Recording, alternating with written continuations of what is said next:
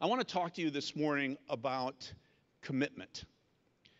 Uh, what does it mean to commit to something? I was trying to think about this a little bit, trying to think how could I describe it in a way that would uh, that would catch a, a, few different things came to my mind C- comparisons ways of kind of com- comparing and contrasting the idea um, one, th- one thing that came to my mind was this idea when i commit there is no graceful way to turn back.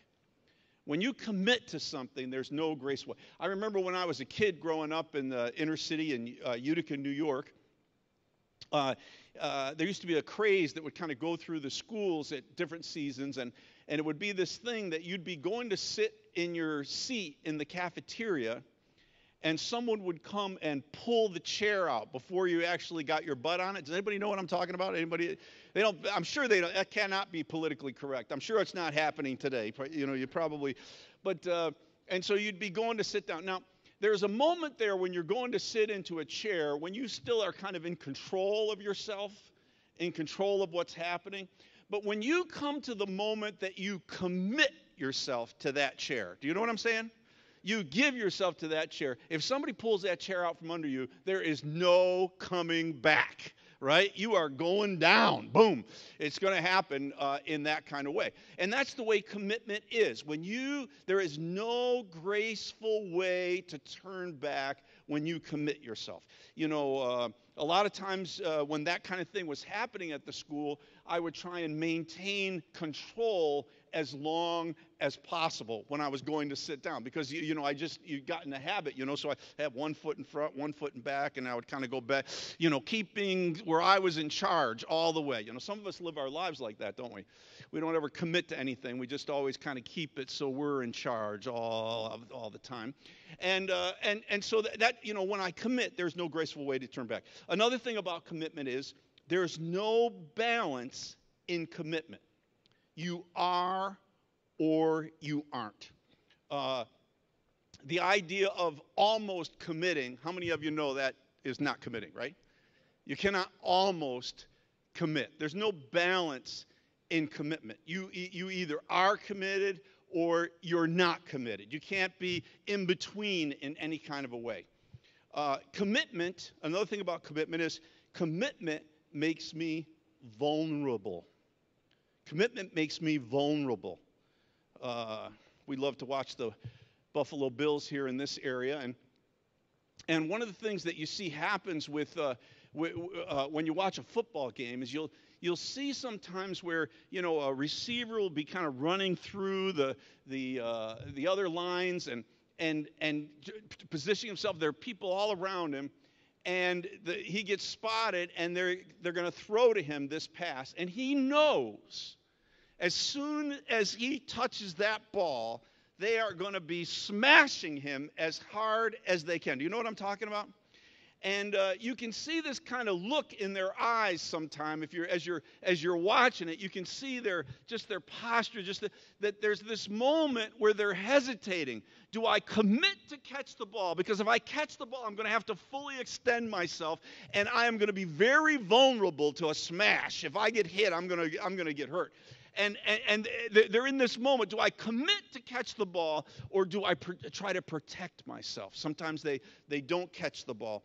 But the truth is, just like in that moment, commitment always makes you vulnerable. When you commit to another person, when you commit to a situation, all at once there's a vulnerability that exists in your life that was not there before. Another thing about commitment we could say is this commitment always costs me something, right? Commitment always costs me something. There's no such thing as a free commitment. You know, we're here today, and those that are online, and, uh, and the fact is, we would not be here today if a whole bunch of people had not gotten up real early this morning. Are you with me? To make this thing happen. When you made the decision, when you committed yourself to the church, right? you, you know, all at once you're going to be in church. That's it's you made a commitment, right? It cost you it cost you your Sunday mornings, right? I can remember when I, you know, there is actually a world that goes on outside of church on Sunday mornings. You know, I I, I remember when. Uh, after 20 years of pastoring, I was free on a Sunday morning. Not free, I still went to church, but I went other places too, right? Where usually my Sunday began five o'clock in the morning and and would go all day long. So so I remember what a weird experience it was for me to drive and to see all these stores filled with people. These these there's a, there must be a religious a religion around Home Depots and things like that because those places are packed out on Sunday. You know, it's, it's, it, it, it's an amazing thing. There's a whole other world out there. But you made a decision. And the decision you made was, you know what? We're going to prioritize this thing. We're going to we're going to come to church. Uh, uh that's going to be our thing. We're going to do that thing as a family, as an individual. We're going to we're going to do this thing. We're going to, we're going to come. And when you did that, it cost you something. You're all at once. You're not free on Sunday mornings the people who made the commitment to make this service happen today. It's tied them up from early in the morning till now. Why don't we give a hand to all the people who made that commitment and, and got things together so we could be here uh, today? It's a, it's a powerful thing. Well, well, I want to. I've talked about some contrasting, some ideas, but let's talk about biblical commitment. What, what, what, are we really talking about? If you, if you have your uh, uh, access to a Bible or uh, scriptures uh, on your phone, if you can self control yourself not to be searching all over the place there on there, um, we're going to look at Luke chapter 14. Luke chapter 14, and uh, I'm going to start with verse 25. Luke chapter 14, starting with verse 25. And uh, this is all in red letters, what we're going to be reading, meaning that it's the words that Jesus spoke, right? And uh, so we're going to be looking at this together. Luke chapter 14, starting with verse 25. Now, great multitudes were going along with him, and he turned and said to them, If anyone comes to me and does not hate his own father and mother and wife and children and brothers and sisters, yes, even his own life, he cannot be my disciple. Wow. I'm thinking to myself, that should not even be in the Bible, right? That, I mean, I'm saying to myself, no, uh, that's not Jesus. Jesus loves our family. You know, he he wants. You know, I, I, I'm thinking to myself, if I got up and said that, in this climate that we live in, and Politico got a hold of it, you know, the newspapers, you know, got a hold of it or something like that. You know, pastor says, hate your family. It, are you with me? Can you see the headline right now? Come on. If I posted that on Facebook, they would eat me alive. Are you with me? Am I right? Right? But what does Jesus say? Jesus doesn't seem to care. He says, if anyone comes to me and does not hate his own father and mother and wife and children and brothers and sisters, yes, even his own life, he cannot be my disciple. And Jesus is calling us here and he's saying, look, every relationship in your life has to be placed before below, I should say, your relationship to me. Every other, every relationship, there is no relationship that you have, he said, that, that can be in competition with your commitment to me, with, with your heart to follow me, with going after me. And this is very important for us to understand within the context of family because there's many relationships that, that simply do not work if they're put out of order. That is, for example, if I love my children more than I love God, you can, you can read the Bible. There are all kinds of stories of people in the Bible who love their children more than they love God, and it never worked out in a good way. It's always very destructive.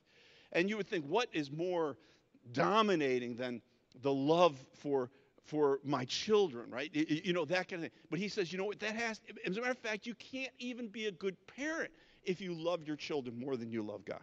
Why? Why is that?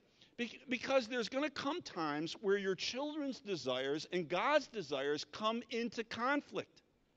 And if you choose your children's desire over God's desire, it will produce destruction, right?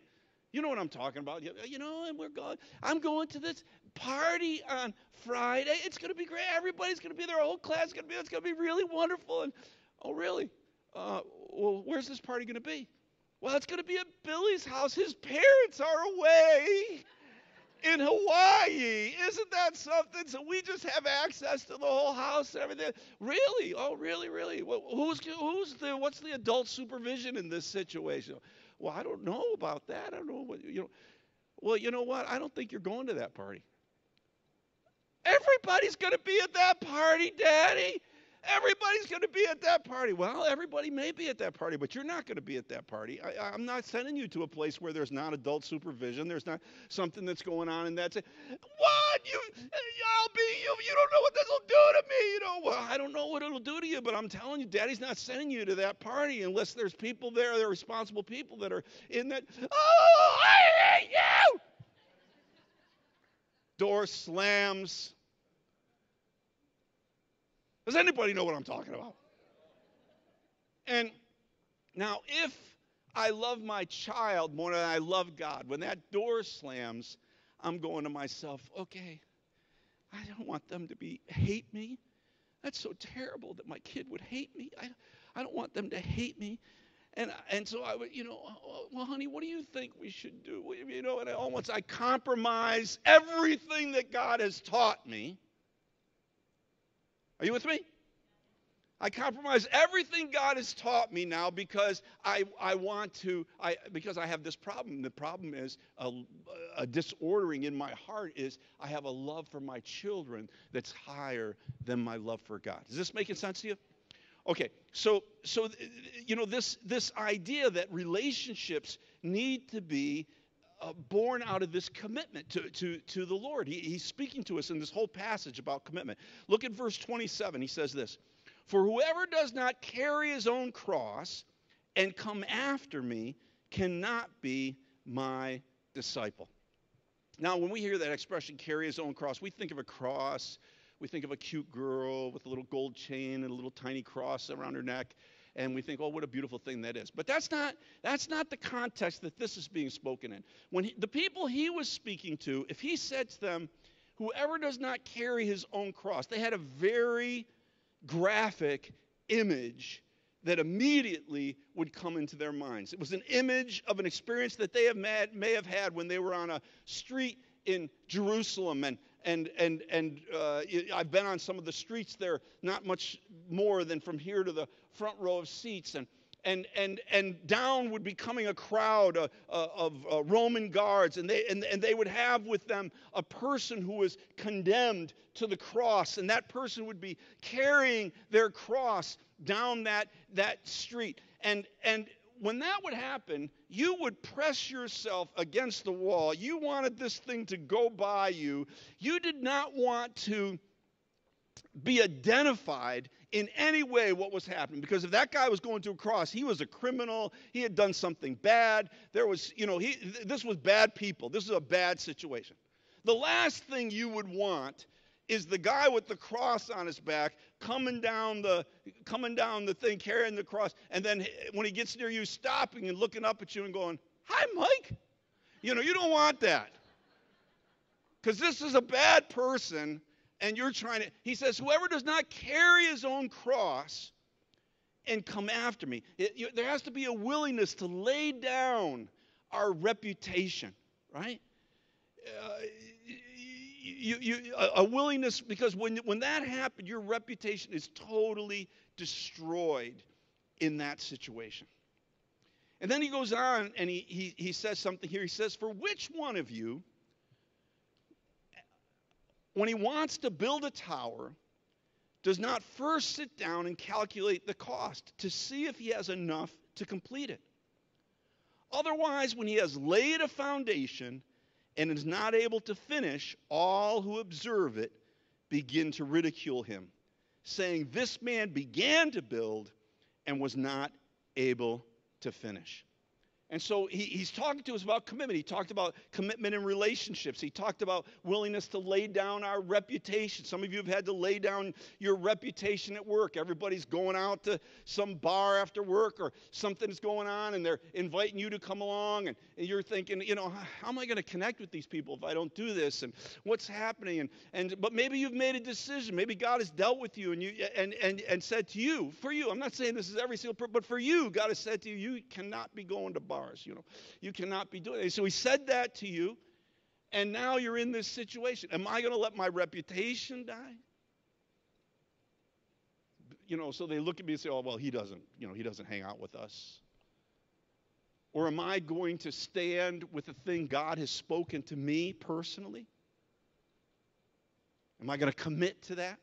He says, you, you cannot follow me unless you are willing to lay down your reputation. And then he says to us, and this laying down, this, this committing that takes place, it's not meant to be an emotional thing. He's not, he says, he says, for which one of you, when he wants to build a tower, does not first sit down and count? He says, don't do this thing, don't commit yourself to this in some moment of emotion. You know, you hear a, a, tearful story, something, oh, yes, okay, I'll follow you, Jesus. You know, and, and he says, don't, he says, count the cost. Take a moment and stop and think about, okay, what is this going to mean to me? The Lord is telling me not to go to these bars. What is this going to mean to me? In my work, in my situation, how is it going to impact me? And then count the cost. Maybe think of other ways that you can connect with people if if you can't do that right? Kind of come up with it he says you got to calculate this thing out. You got to think this thing through. Otherwise you get into the middle of it and it says you get ridiculed. Why? Because the man began to build and was not able to finish. And then he wants to emphasize this point so much that jesus repeats the idea again. He throws it at us again. Verse 31 what does he say here? He says or what king when he sets out to meet another king in battle will not first sit down and take counsel whether he is strong enough with 10,000 men to encounter the one coming against him with 20,000. Or else, while the other is still far away, he sends a delegation and asks terms of peace. He's saying you got to count the cost when before you get into this thing. You got to when, when when you're going into a situation when somebody with few going against somebody who has much.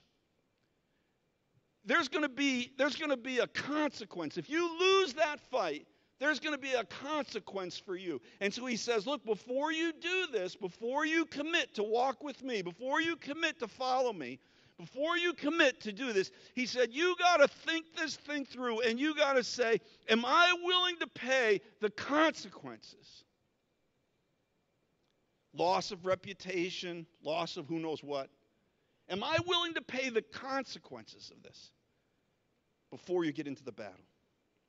And then, verse 33, he goes on, he takes it another turn, going after another dimension of commitment. He says, So therefore, no one of you can be my disciple who does not give up all his own possessions. So he's talked about relationships, he talked about reputation, he's talked about counting the cost. This is a, this is Jesus's this isn't Mike talking. This is all red letters here we're going after, right? It's shocking. Some of it we would say, get the black marker out, take that verse right out. This is the, you know, hate your father, mother. Get, get that's it's shocking, but it's the truth of what Jesus has called us to. He says, Therefore, no one of you can be my disciple who does not give up all his own possessions. Why is that? It's because possessions have a gravity to them, they have a pull to them. And if you don't break the power of that pull, possessions will drag you places, draw you places you don't want to go. You, in, your, in your commitment to Jesus and your following of Jesus, you don't want to go. Possessions have that pull. All possessions are like this. I remember years ago we were, I decided I was going to put up a swing set for the kids. You know, I'm super dad. I think I'm going to be a great guy here. And, and so I dedicate my weekend. I, I put up the swing set, a lot of work involved, everything else that, in making the swing set happen. And then I, I feel pretty good about it until I get to the final page of the instructions. And on the final page of the instructions, it says this to me. It says, now, now you've, you know you got your swing set up. It says, every week you need to check these bolts bump, bump, bump, bump, bump, bump, bump, in the thing. You know, every month you need to lubricate blah blah blah blah blah blah blah blah blah blah blah. You know, every you know, and it was like a page of these things. I looked at my wife. I said, I thought I bought a swing set. I bought a life commitment. It's going to affect me for the rest of my life now, right? Taking care of this swing set. And that's the way these things are. They have a they have a power, they have a pull that's there. And then Jesus ends this section off with a passage that has been very confusing for commentators over the centuries because it appears to say something that is scientifically not a fact. And uh, unless you study the times and the situation, you won't be able to understand exactly what's being said here. Because this is what it says. Look at verse 34. He says this Therefore, he says, salt is good. Now remember, the whole passage we're talking about commitment. So I'm going, okay, then he's still talking about commitment here. He says, therefore, salt is good. Commitment is good. But if even salt has become tasteless, with what will it be seasoned? And this is the thing that is a little shocking, this little phrase here. You know, he says it's useless, either for the soil or for the manure pile. It's thrown out. He who has ears to hear, let him hear. He's saying something here. He's saying the salt becomes tasteless. Now, the thing about this is this is just not reality. Salt is always salt.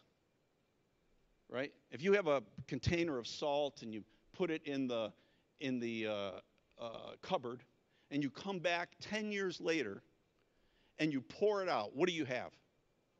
You have salt. You never hear somebody say, Oh, this salt is old, I'm getting rid of it. Right? The salt, it stays the same. It doesn't, it never, you never somebody say somebody go, and they eat their salt and they go, oh, that's salt. It must be over six months old because it just is not, it just doesn't taste salty anymore. You know, you never hear that. Why? Because it never changes. Salt is salt. It is what it is. It is salt, and it never spoils, never rots, never goes stale, never, you know, any of those things. It is salt. That's that's what it is. So this is, seems like a contradiction because he says here, if the salt has become tasteless, with what will it be seasoned? And so it's like, okay, what are you talking about, right? Because the salt never becomes tasteless. What are you talking about? And what he's referring to here is something that we, you remember at this time now, salt was not a commodity like we experience where you go to the market and buy your container of salt, that kind of thing. Salt was a very expensive item. And if I, as a trader, got myself a load of salt that I wanted to sell, one of the things that I would commonly do is I would cut the salt, meaning I would take the salt and I would mix in something with it that kind of looked like salt but wasn't salt so that I could, you know, if I was selling a pound of salt, so to speak, I, I, would actually get a little margin of profit there, a little extra margin of profit because it wouldn't be 100% salt. It would be cut in some kind of way.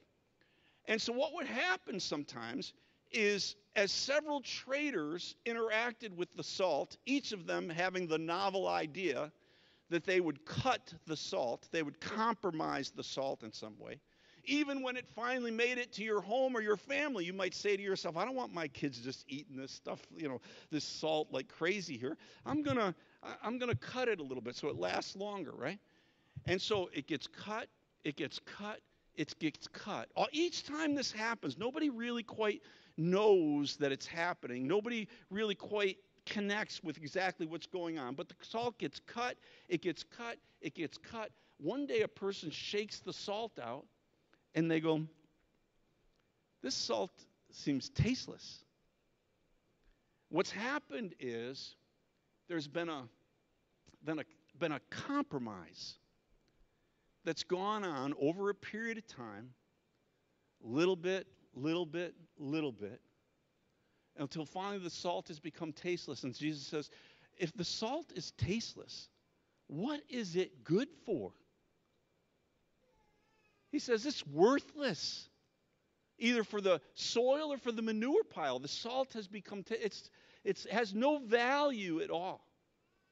And what he's talking to us about is the nature of commitment. Now, here's the deal about commitment all commitment deteriorates. You can make the most passionate, wholehearted, consecrated commitment to Christ, but over the course of time, there will be forces that will work to deteriorate the nature of that commitment. You make little decisions here, little decisions there, where you cut the salt. It's not you know, it's not like you've turned your back on Jesus, or you know, eh, eh, you know, it's not like you're saying, "Well, I'm just changing my whole direction of my life." Or it's not the way it happens. It happens this this process, and this process happens all the time.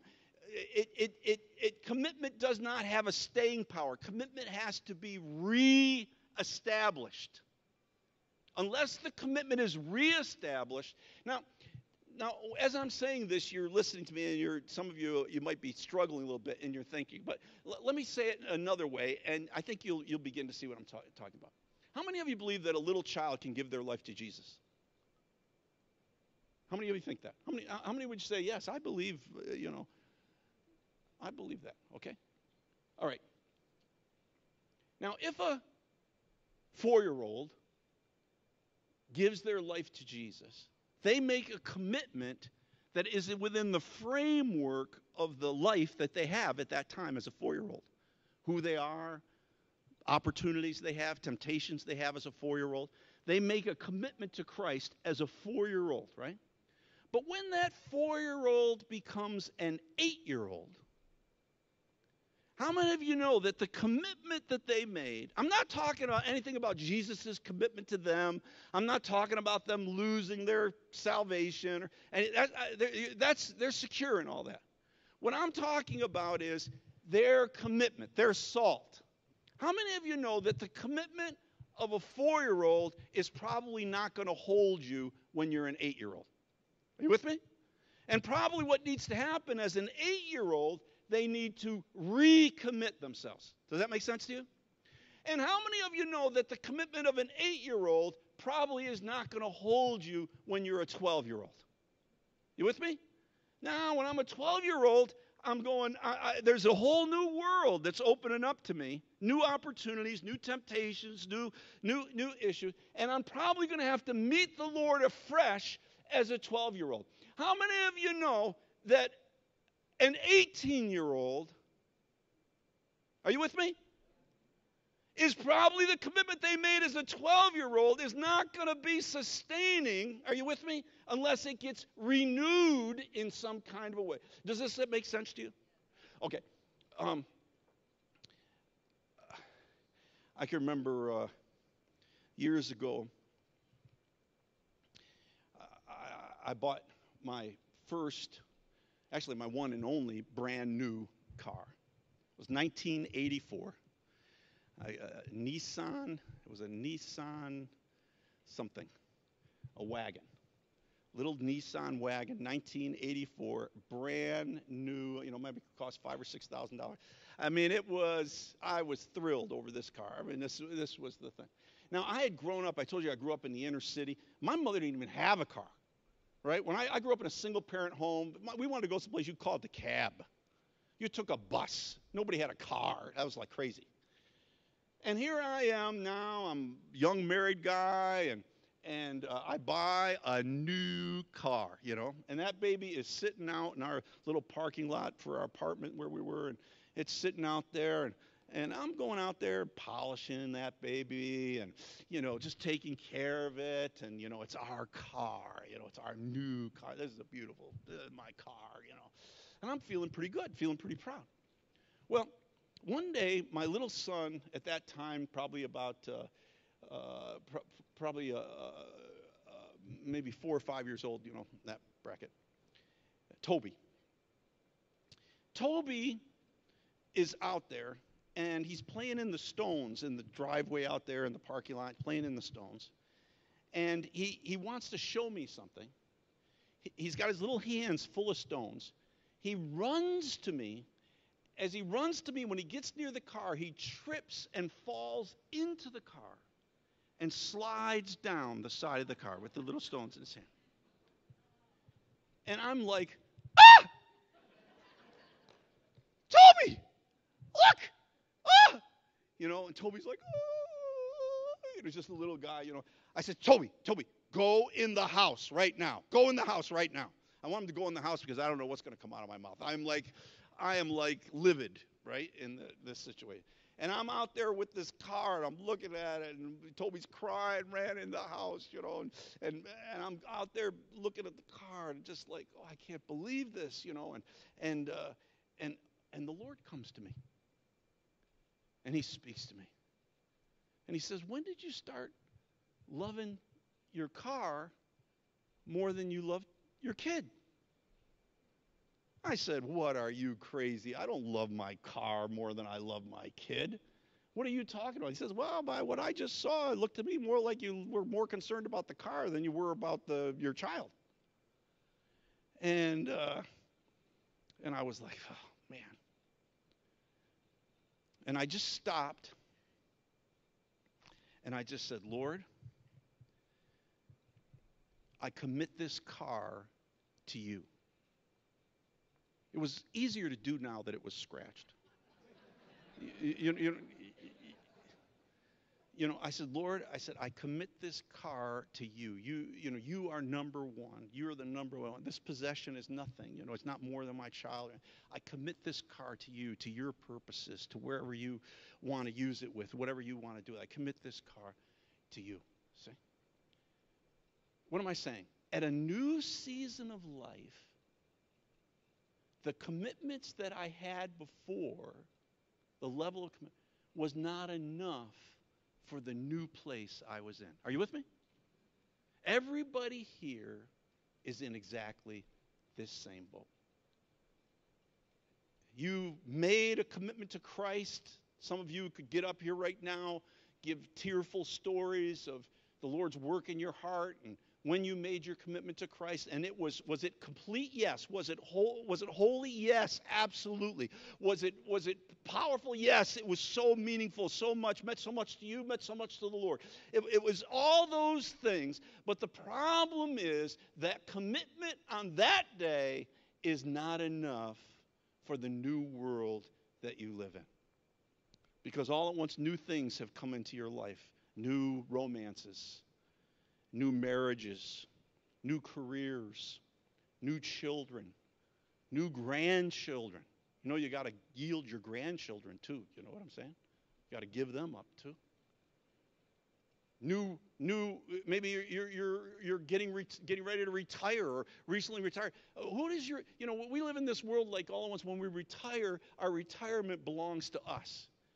You know, my whole life long I lived for Jesus, but now I retired. Now, what, what am I retiring from? I'm retiring from, you know, uh, this task I had, but I, I don't. Ret- How many of you know that the same Jesus who owned you as a young man, young woman, is the same Jesus who owns you when you're 66 year old? You with me?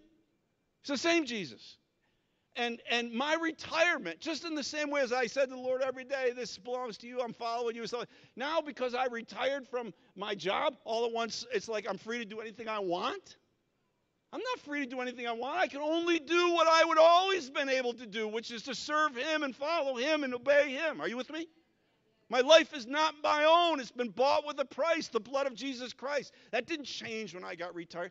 And yet, now when my retirement came, I had to come to a new place of surrender. This belongs to you, Lord, just like it all belongs to you. When my kids were growing up, I would tell them the story of the Moravians, who experienced an incredible revival in the 1700s.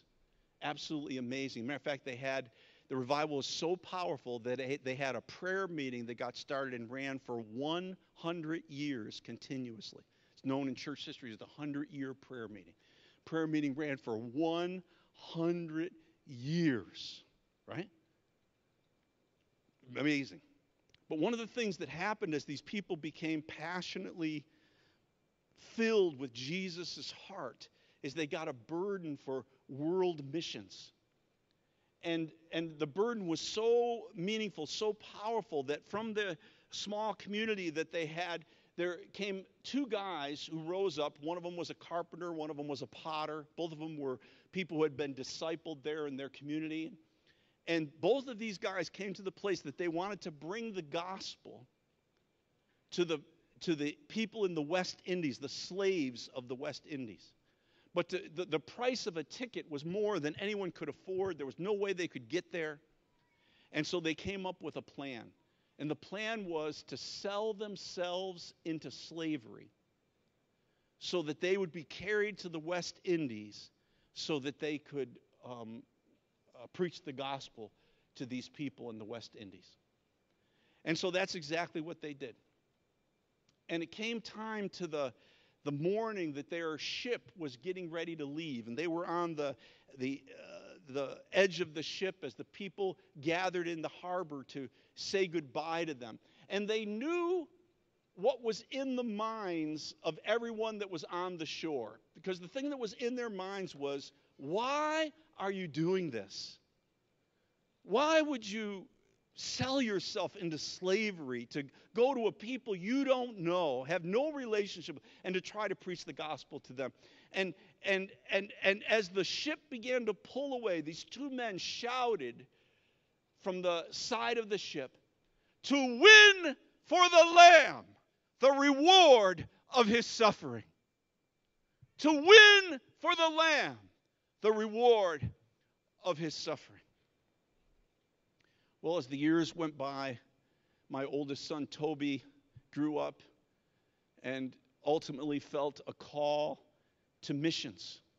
And he leads a ministry you've, I'm sure you've probably heard of, Campus Target, and uh, spent extensive time, uh, 15 years in, in China. And back a few years ago, they had been gone for several years one of my grandchildren had been born in China. I had never, never seen the, the child. And they decided they were going to come back one summer for five weeks. They were going to be a part of a wedding and, and, and be with us. And, and uh, it was, wow, what a summer that was. We were so excited. My little, my two little granddaughters and my brand new grandson who I'd never met before, and they, they were all back with us. And we had picnics. All the family was there. My other son, Todd, and his wife and their couple kids, and, and my daughter, Tracy, and all the family. You know, and we would have, we had picnics, and we went to parks together. And we just did, for five weeks, it was just like, we just did everything we could to connect with them and to be with them.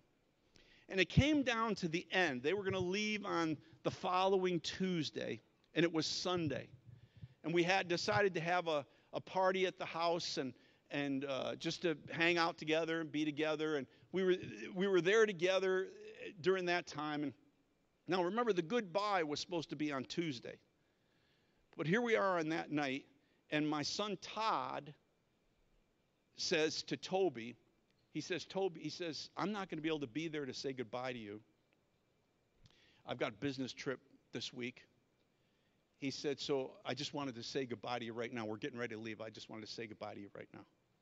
And so he goes over to Toby and he hugs him. Now, I am not prepared for this because Tuesday is goodbye day. This is like we all are still loving each other and for trying to pretend that nothing's changing. And he goes over and he hugs him, and they start crying. And then, you know, everybody else starts crying. And we're now we're in the place and we're just all sobbing, saying goodbye to each other. So finally they everybody leaves the house. And I look over at my wife and I say to her, There is no way I can go to the airport. I said, I, I just can't do it. There's no way. At that time, I, my granddaughter, she was about five years old, and, and she had these curly, she looked like, she looked like uh, Shirley Temple, little blonde, you know, curly little thing. And, I, and she was smart enough to realize they were going to be leaving grandpa and grandpa and, you know, all this stuff. And, you know, I could just envision them going through security and her looking back going, Grandpa, don't let them take me, you know. And I'm just saying to myself, I cannot do it. I said, there is no way I can go. This killed me tonight. There is no way I can go to that airport Tuesday morning. And so finally, Tuesday morning comes. And I'm sitting in the house. My wife is gone. She's braver than me. Say goodbye to them. I just couldn't do it. I just told them, you know, I'd gone over on Monday night and said goodbye, and and and you know, I just said I can't do it. I'm sorry, I just can't do it. And so they're they're leaving. And so my my son sends me a text from the airplane, and this is what he says about to leave for Shanghai. Why do we do this again? Oh, yeah, dot, dot, dot. To win for the Lamb the reward of his suffering. To win for the Lamb the reward of his suffering. Listen, brothers and sisters, it doesn't matter how recently you gave your life to Christ or how far away it was. It doesn't matter how mature you are or how immature you are. I'm telling you, we're all in the same boat when it comes to this. I had to come to a place of yielding my grandchildren again in that situation, yielding my children to the nations of the world. The commitment I had made, I had done it years before, but that over time, that commitment deteriorates and there is a fresh commitment that's required. A fresh commitment. Now, I don't know what area it might be. Uh, the worship team, if you want to come to start getting prepared, you can do that right now. I don't know what area it might be for you, right? Do you do you, do you need to reestablish your relationship with Jesus? Maybe you say, no, that's that's that's pretty good. But but I'm saying to you, is he still number one. In the new world that you live in, in the new moments that you live in, is He still number one?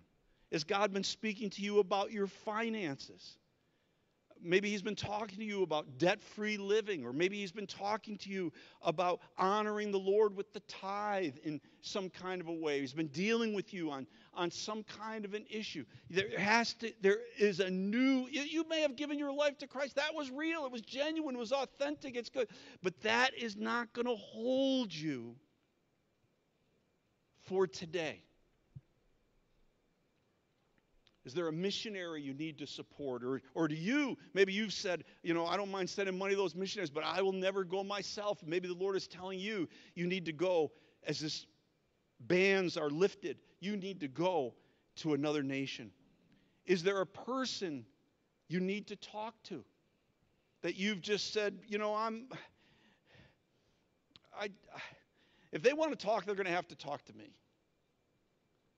Eh, I'm not going to say I'm not going to I'm not going to say I'm sorry. I said I'm sorry. I'm not I'm not going to and that the Lord is dealing with you and he's calling you to a new commitment.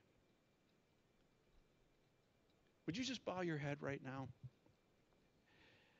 You know, as I've been speaking, I believe that the Holy Spirit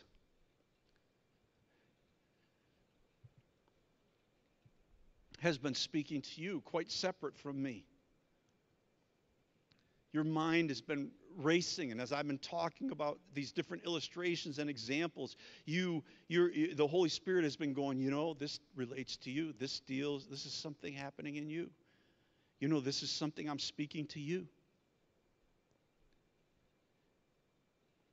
And if the Lord has been speaking to you one specific thing,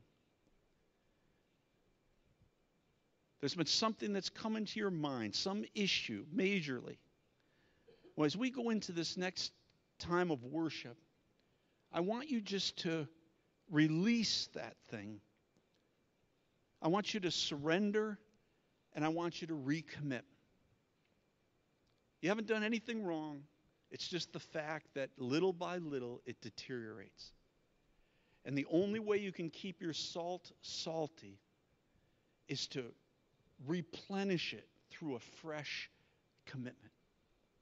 A fresh commitment right now. So as that comes into your heart, when we stand to sing, you just you just surrender that thing. You recommit yourself right now. You know what it is. The Holy Spirit's been faithful to you. He's speaking to you. It might be a relationship that you need to yield to him. Might be some demand you have, something you feel you're owed, you need to let go of. Though you know what it is, the Holy Spirit is bringing you to a fresh place of surrender and commitment.